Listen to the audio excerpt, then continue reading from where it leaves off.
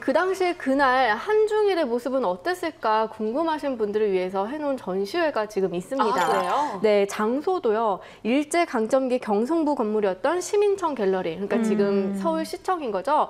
거기서 1945년 8월 15일 정오부터 16일 정오까지 한국, 중국, 일본의 24시간을 음. 이 시청각 언어로 재구성해서 전시를 한다고 하는데요. 음. 이달 말 30일까지 한다고 하니까 꼭 가보시면 좋을 것 같습니다. 네.